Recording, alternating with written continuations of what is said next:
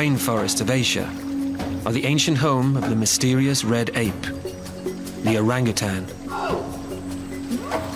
For 15 million years, the males of this race have fought each other here for dominance. On the island of Borneo, one of their last outposts, there is one who has become a legend.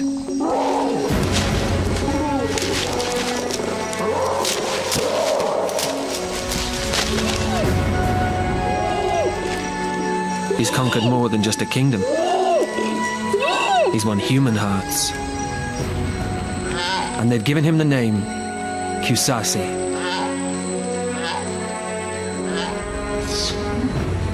His ruling rank brings special privileges with the females. He's fathered many youngsters. His bloodline marks him a winner. But behind this success lies an epic story of survival. For Kusasi was an orphan, a baby stolen for the pet trade. But he escaped, and battling to survive, he turned his misfortune into triumph. He became a king among orangutans. Today, after years of tenacious fighting, his strength is fading. Yet Kusasi's grip on human hearts has never been stronger. Those who've watched his life unfold now step in to save him again.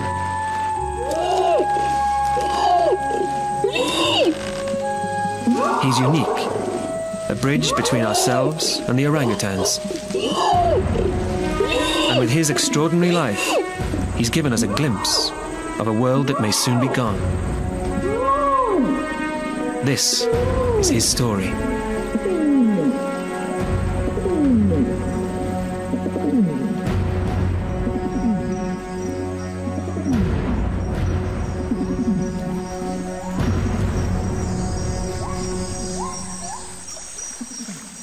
Kusasi was born almost 30 years ago, in a nest, high up in a tree canopy. It's where orangutan infants enter the world. Just like human babies, they're completely helpless, dependent upon their mother's protection. But for Kusasi, that safety would soon be shattered.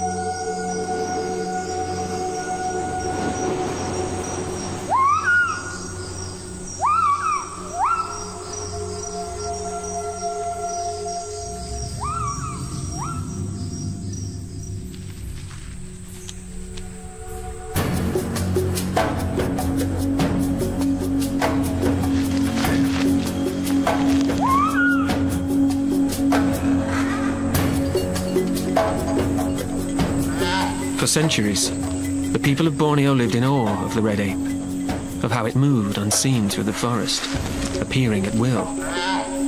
They believed orangutans were beings of the spirit world.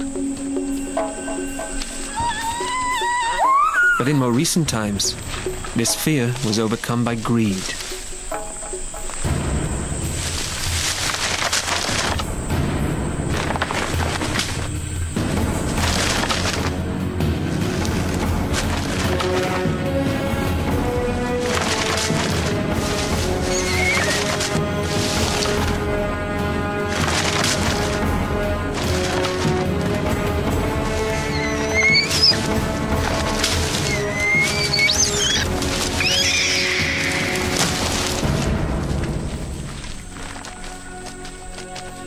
When Kusasi was two years old, hunters killed his mother and kidnapped him.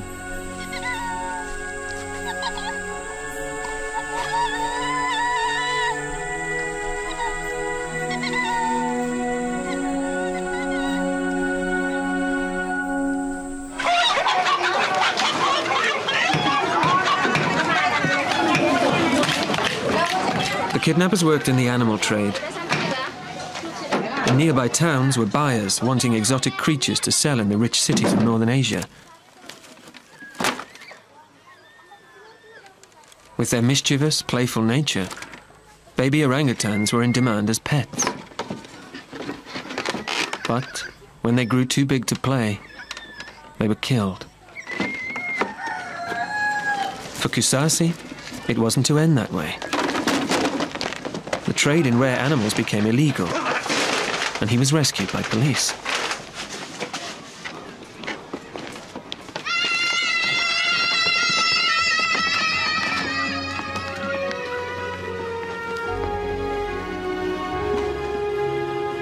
They took him back up the Sekonyer River toward the forest where he was born. But what was left for him there? How could he go back to a life in the forest?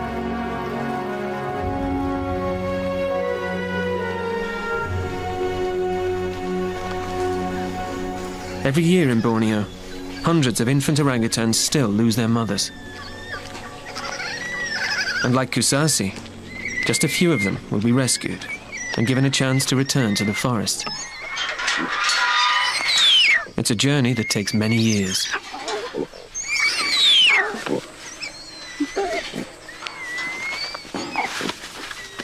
Baby orangutans depend upon their mothers. It's her experience and care that shape their lives.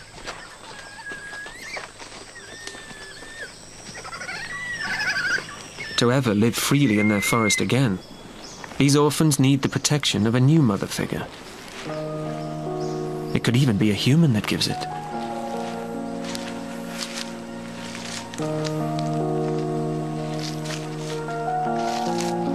Biruté Galdikas came to live in this forest a few years before Kusasi was born. Her ambition was to study wild orangutans and find clues to human origins. She was the first biologist to draw so close to the mysterious red ape.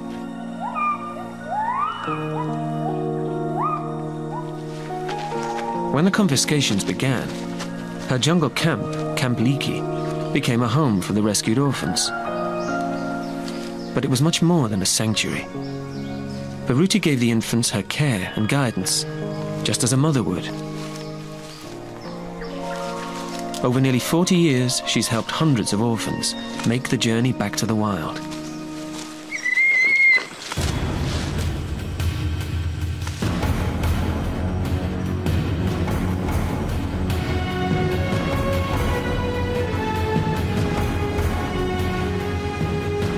Was on August the 22nd, 1978, that Kusasi traveled upriver to Camp Leakey.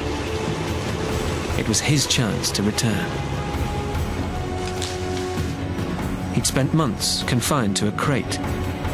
Now, his life was beginning again.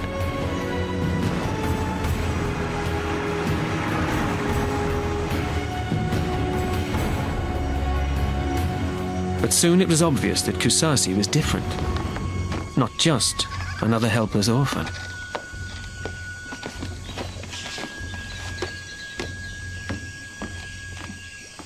When he first came to Camp Leakey, he did not behave like the usual orangutan infant.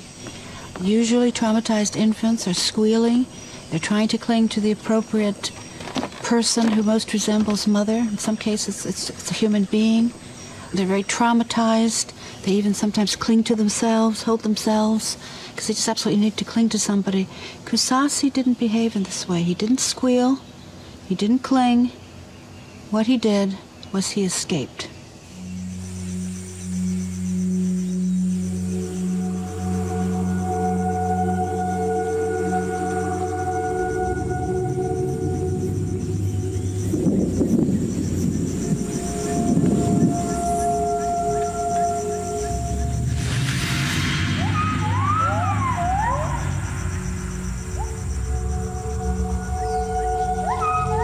Kusasi broke out of his crate.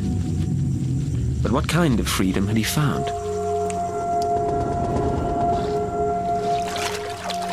For a three-year-old orangutan alone, the forest is a death trap.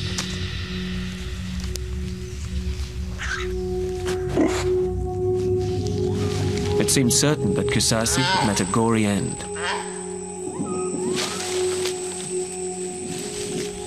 When we discovered Kusasi was missing, the conclusion was absolutely clear.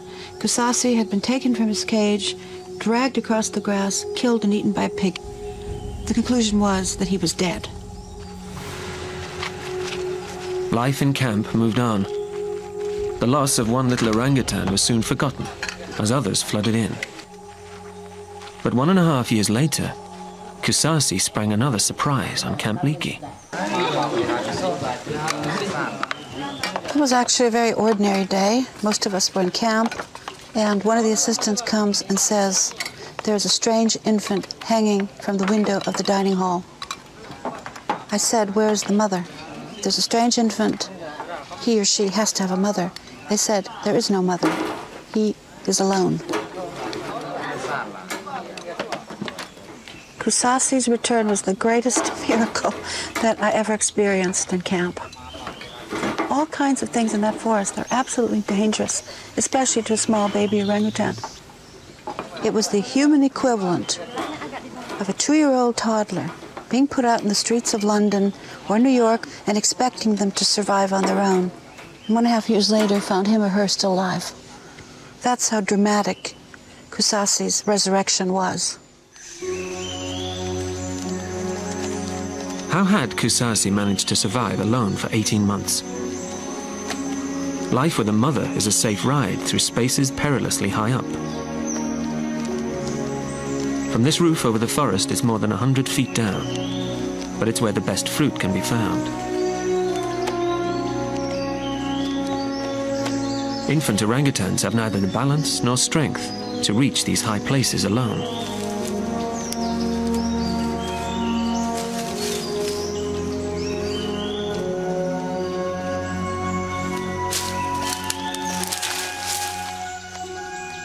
In this complex world, they need their mothers for the first six years. Yet, at just three, Kusasi had spent 18 months alone in the forest. Or had he? Could he have found a surrogate mother?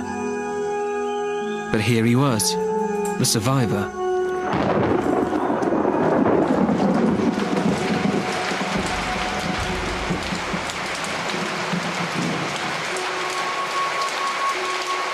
why had he come back?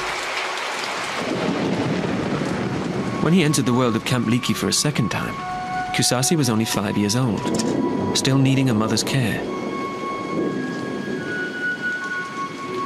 But he was taking an enormous risk. Humans had killed his mother and caged him. Could he sense that these people would treat him differently?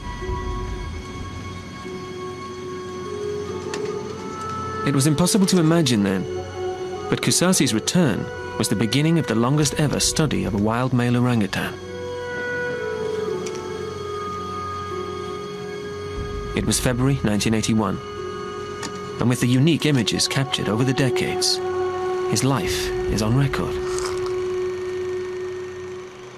This is one of the first pictures that we have of Kusasi, where he has just had some milk, he's very relaxed, but the gleam in his eye is visible. Camp Leakey was already a busy place. The orphans here were experiencing freedoms they'd never had before, and they are natural mischief makers. But they also had psychological traumas, separation anxieties, and these disturbed personalities gave the humans plenty to observe. The records reveal that Kusasi was wary of humans and took a while to settle in. Others were less reserved, like Princess. This young female was Kusasi's age, but astonishingly open to new ideas. That food? Apa ini? Biscuit. She was already half of a unique relationship with Gary Shapiro. He'd come to do some new research into orangutan language ability. Princess can still be found in camp today, with their little son, Percy and she's still a draw for Gary.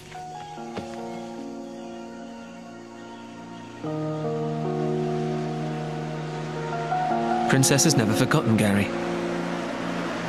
They turned out to be so important for each other that 25 years later, the relationship survives. For orangutans, too, relationships can last a lifetime.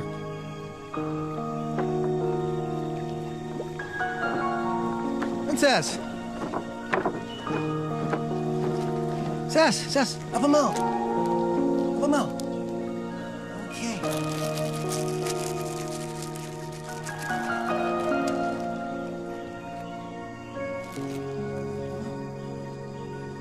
Ito masas.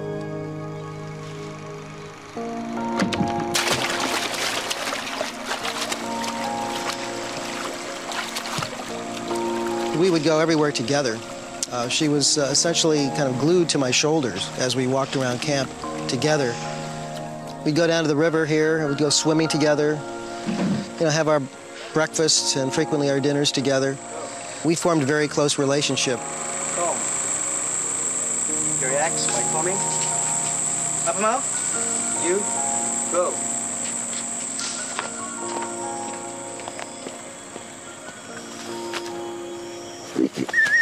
Kusasi, on the other hand, continued to avoid this kind of close contact with humans. Was it because of his traumatic start in life? Or was he just avoiding a world that did not belong to him, where humans were parents and teachers? Princess became famous worldwide for her language skills. Grass? She could speak to Gary, using 30 different signs, naming a hat, a wristwatch, or a flower. She still remembers them today. You. Apa ini? Apa ini? Apa ini says? Apa ini? Food? Apa ini? Fruit? Okay. I'm gonna ask her how. Bagaimana? She taps it twice like that, so that's to open. Apa ini? Hat. Give her the hat. For that. Princess was never the student in the classroom who was highly motivated. In fact, she was very bored with her science studies. It was very difficult to keep her attention and keep her in class. And, you know, that was kind of remarkable in itself, the fact that, you know, she did tolerate this and she went through it all compared to the other orangutans we worked with. Her learning and how she learned, and particularly on her own, uh, outside the signing context, helped to develop the kind of intellect that she does have, particularly in the areas of problem solving and tool using.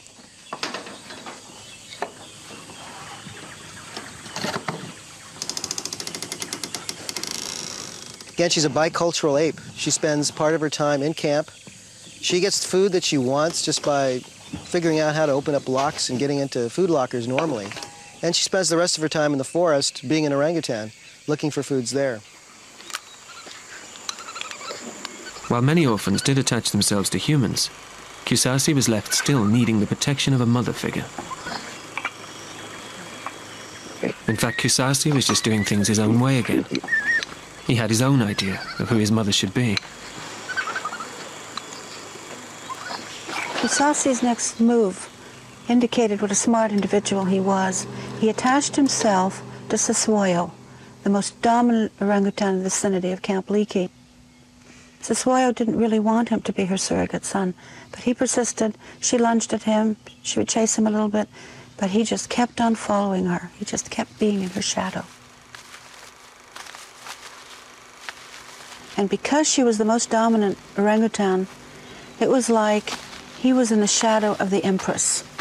Everywhere she went, this red wave of orangutans would move. It would be like the Red Sea parting. And as she walked through, Kusasi would follow in her wake. He got access to the food, he got access to the milk, and that made him stronger. That gave him an advantage that he might not have otherwise had. Princess and Kusasi found security in different ways, and that set the scene for the rest of their lives. Kusasi went his own way from the start, and has done ever since.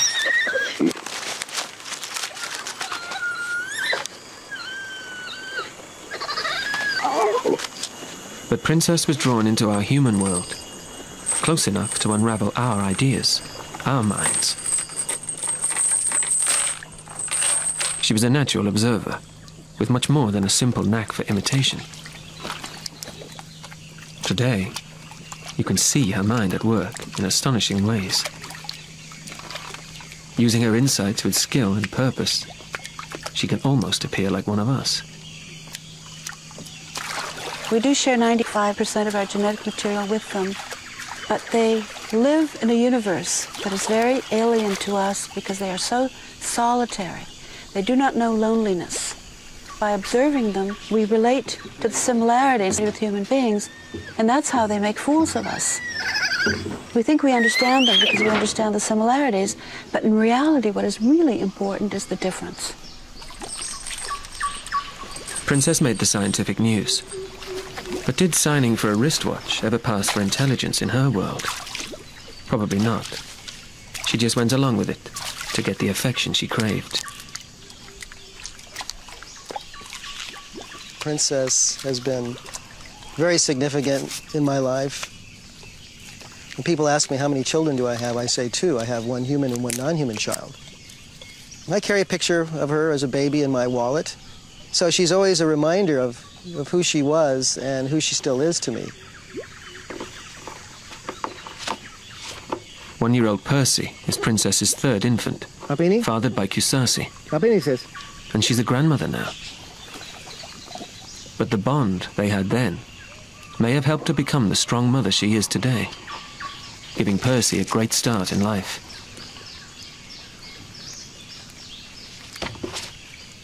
Once an orangutan is an adult female and she's with her child, she's quite a distinct uh, individual. There really is no grand desire to, to be tickled or to be uh, carried around or, or to, to be in the way she was when she was much younger. Kusasi never had this much attention from Siswoyo. Yet images from 1984 do show him starting to relax in camp. This is Kusasi. The light in his eyes is still very apparent, but it's Kusasi having fun. I mean, Kusasi's found this old burlap sack, and he's just playing with it. He doesn't have a care in the world. But life would soon become more serious again. He'd never been fully accepted by Siswoyo. In fact, she'd often given him a rough time. But she had fulfilled the role of guide and teacher. Now he was about to lose her. Siswoyo became pregnant in late 1985.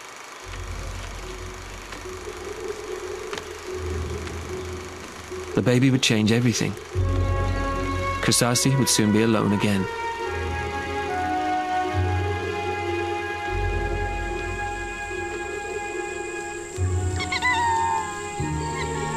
A mother with a new infant will only tolerate the older offspring for a while.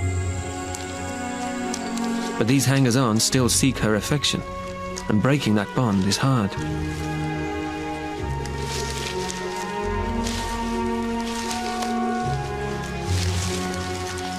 Even though she never really wanted him, the loss of his surrogate mother was a big test for Kusasi. Had he learned enough to survive alone, in a world where everyone must compete for shelter and for food?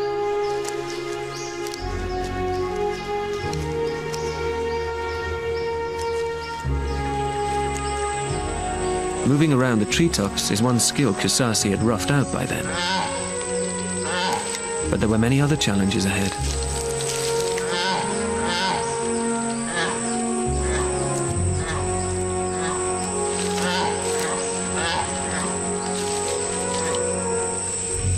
Each night, orangutans build a nest high up in the trees to sleep in. For a novice, this can be a DIY disaster.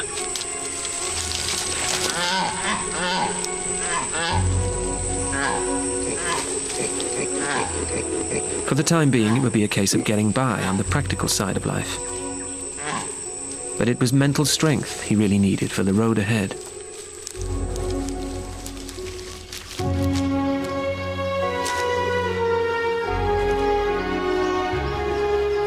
Had the loss of his real mother been repaired by his bond with Siswoyo? She was tough on him, but looking back, Kusasi's choice of a forceful surrogate mother seemed to set the course of his future.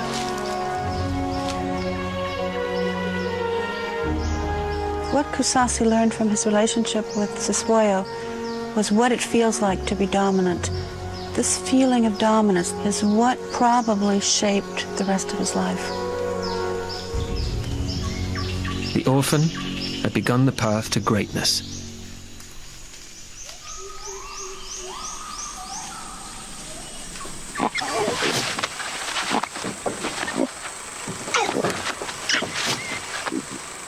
Way of life now opened up for Kusasi, where his wits and strength were challenged every day. The fighting began.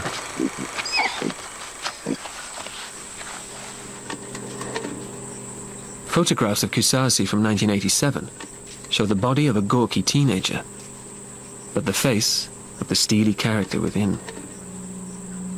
At 12, he'd begun his long campaign to reach the top.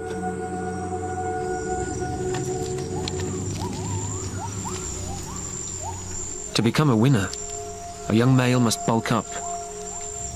Males can reach double the size of females, and they need to, if they're to fight off the competition.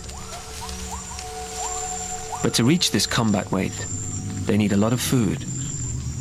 Fruit is scattered far and wide, but orangutans can make a mental map of where the best trees are, like the fig and the jackfruit, and to remember which week of the year their fruit ripens in, timing their journeys perfectly. And as he roams, the young lone male tests his courage and powers, approaching females, seizing a chance when the dominant male's back is turned.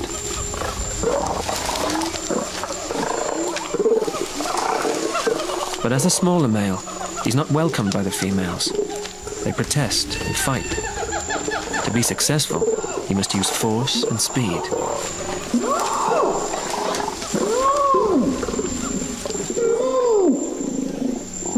This is a high-risk strategy. Being caught by a dominant male could easily mean death.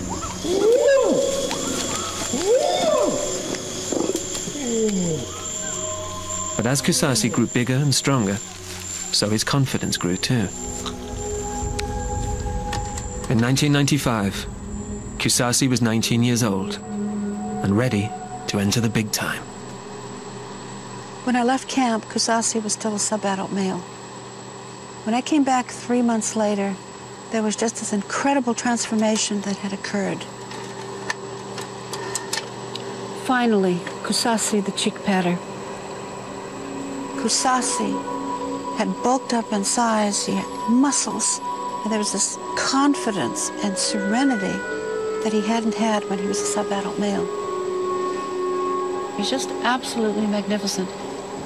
And the gleam in his eye is still there, stronger than ever. You can see it. It's a male's cheek pads that signal to others that he's a contender for power. Cheek pads only grow if his testosterone surges to the highest levels. With these, and a throat pouch for the booming long calls, he's ready to fight for dominance. Kusasi would risk his life now to be king. Order to claim his throne, Kusasi had to defeat the other contenders. The main contender was Yayat. Yayat had become stronger. There had to be a showdown. Yayat was a few years older than Kusasi. Their previous fights had always ended in stalemate. Now, the violence escalated. The fighting with Yayat became for real, absolutely for real. There were a series of combats over the years. Kusasi always won. The last combat was so severe and so brutal, so savage, that Kusasi almost ripped off Yayat's face. Kusasi was no longer the chancing wanderer. These forests were his now, as they still are today.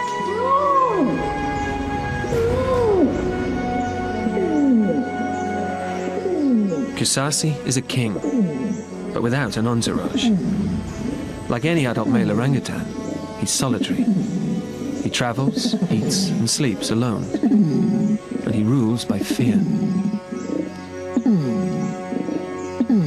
His distinctive long call announces his presence, encouraging females to come to him and warning other males away.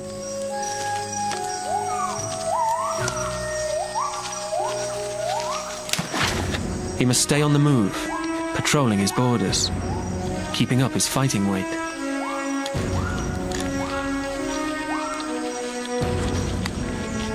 And his long struggle has always been about one thing.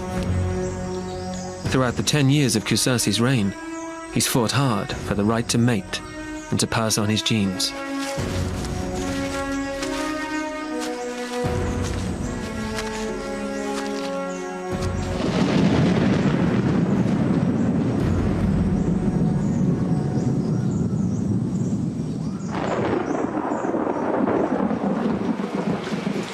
This is Siswi, one of Siswoyo's daughters, Kusasi's adopted sister 20 years ago.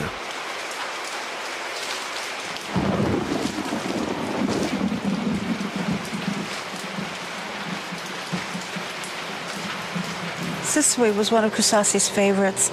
They grew up together, but he did not regard her as a sister. They had a great deal of play sex together, and after Siswi became an adolescent, they had a lot of real sex together. He had sex with Princess, he had sex with Tut, he had sex with Unyuk, he had sex with Siswi. If they were a female in camp, he had sex with her. Kusasi spends most time with females he's known the longest. It's as if, despite his solitary existence in the forest, he finds comfort in familiar faces.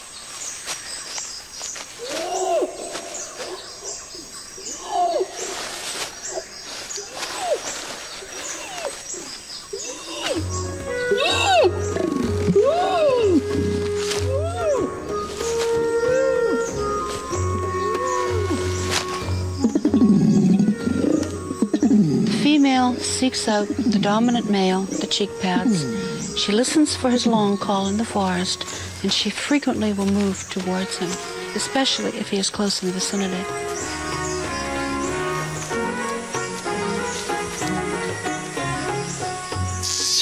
It's during these encounters that Kusasi shows a softer side, beyond the brute hostility of a dominant male. These females appear to be more than just sexual partners. They seem to be lifelong friends. Kusasi has been in a position where the females want to mate with him. Sometimes the females almost offer themselves to him. They lay back, spread their legs, you know, the welcome sailor position, and uh, just wait for him.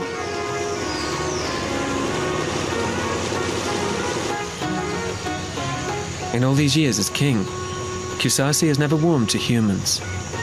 Yet humans have come from all over the world out of respect for him.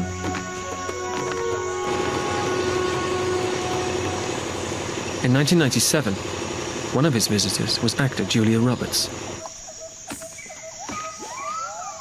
She'd read about Kusasi's achievements and came to take in the atmosphere of his forest world.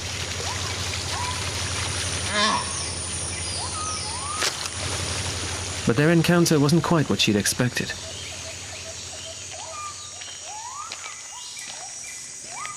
Kusasi's relationship with humans contained some antagonism and belligerence. He would trip them, he would take food away from them. Some of that fight club aggression was also directed towards humans, and humans became very afraid of him. He's got me. It's okay.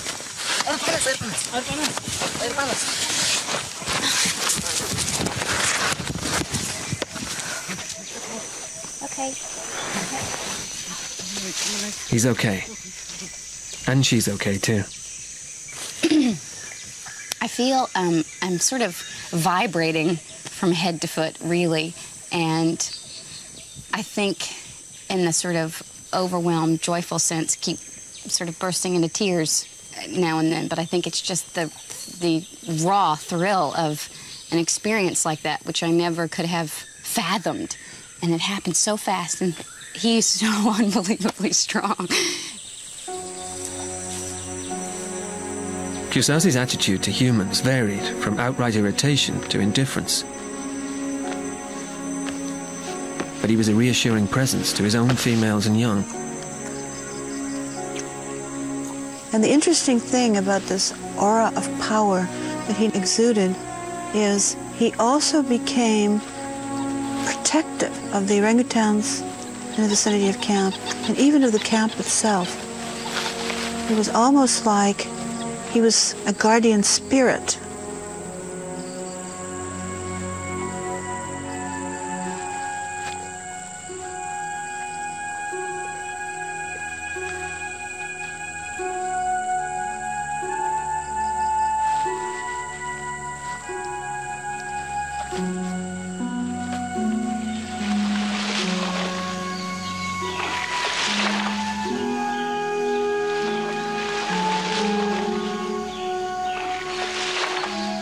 Time, many rivals have tried to topple him, but Kusasi remains. His grip on power has now lasted for 10 years. His long rule has brought stability to his forest kingdom. It's his dominance that underpins the orangutan world.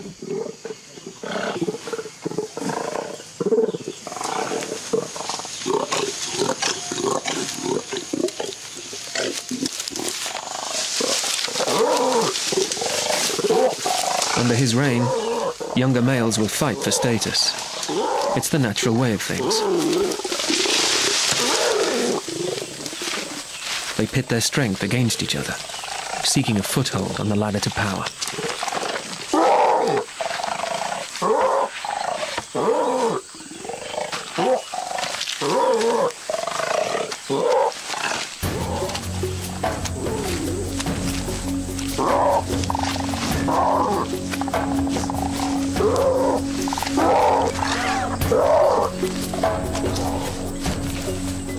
Kusasi watches and controls them, ruling through fear alone.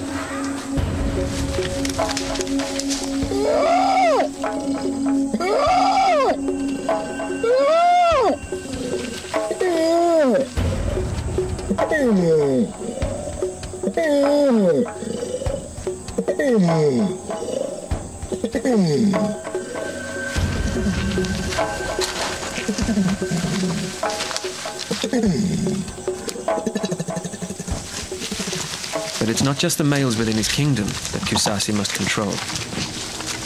In the ten years of his reign, Borneo has entered a crisis, and the path of his life is changing again.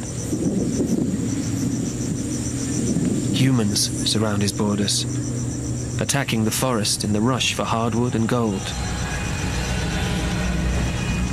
And farmers follow behind with fire devastating orangutan territory all over Borneo.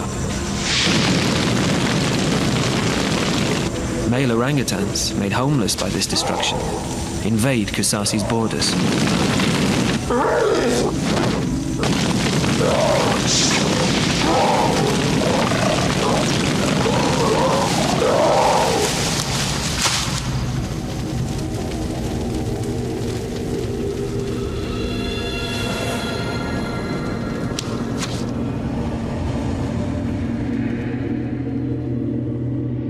Time has finally caught up with him.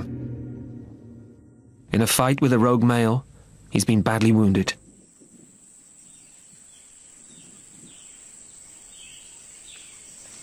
Dulu memang katanya tuh ada anu atau sama Uranus tapi tidak sempat fly, sempat mereka pisah. Ah, okay.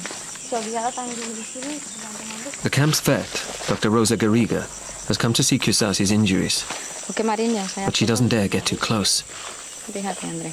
Ini Di kaki. oh ini. Hati-hati, ini kita dari klinik. wow, can fit the fingers inside of the wound. There are deep bite marks from long canine teeth across Kusasi's head. She has an abscess. I, I guess it's a it's a bite, uh, several bites. I mean, you can see it's a couple of centimeters at least.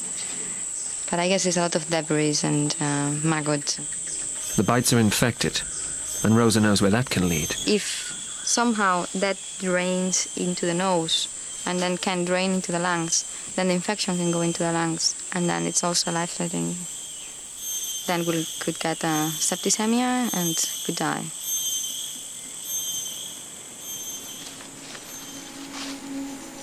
For the first time, it seems Kusasi may have met his match. For a while, he returns to the forest, but with such deep head wounds, he's vulnerable. The females see his injuries and sense his crisis. He's been their ruler and protector for so long, but now his moments with them could be numbered.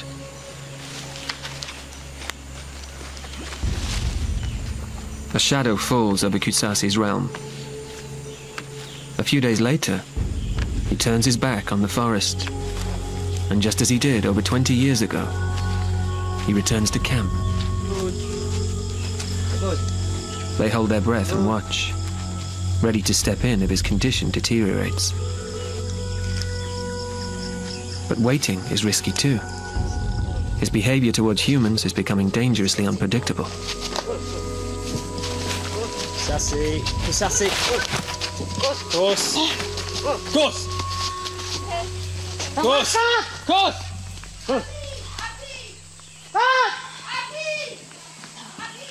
There's no option but to try to treat Kusasi's wounds.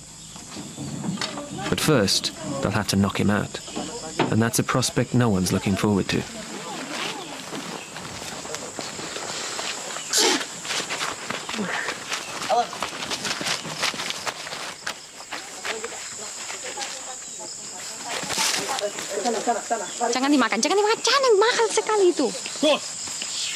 Sekali itu. Kus. Kus. Don't destroy. it. That's a new one. Disgusting orangutan. So expensive.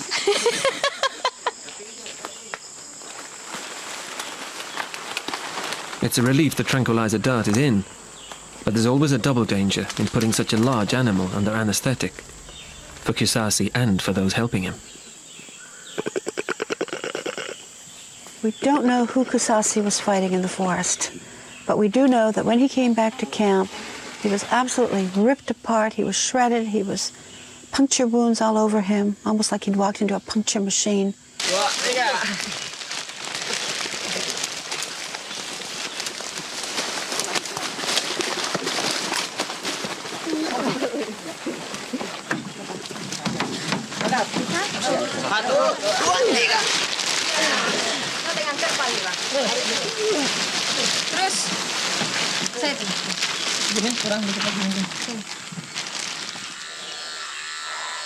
The team set up a makeshift operating table and investigate.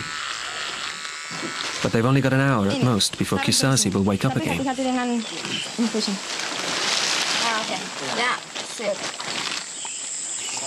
There's a lot of um, dead tissue, and I'm just trying to see how deep goes this. I mean, it's very swollen here, but it's soft. It's not full with liquid. It doesn't. Sorry. Cleaning his wounds will give him a better chance to recover. It's a deep one, but it's a lot of fat and uh, big head. I cannot even feel the bones. matahari,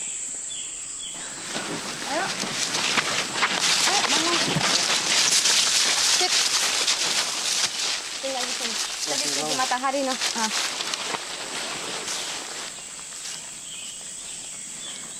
Right.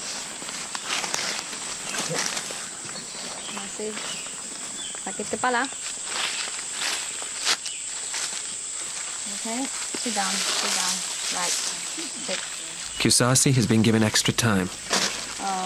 His days as king are not yet over. I can't conceive of Kusasi as a sad old man, all beat up, as a sad old orangutan male, slinking away into the woodwork. I just don't see him. I think he will go down fighting.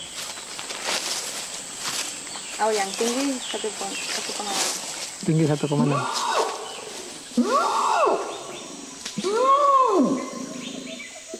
At night, Kusasi long calls from the forest close to camp to tell the world he's still in charge.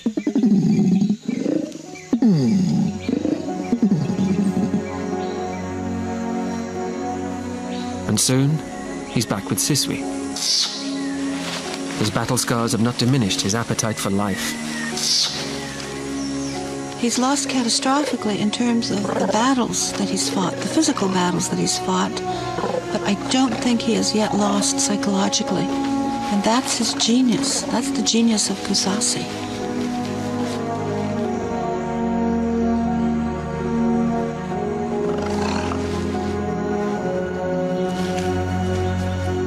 Kusasi was an orphan who became a king, but his legacy may be greater still.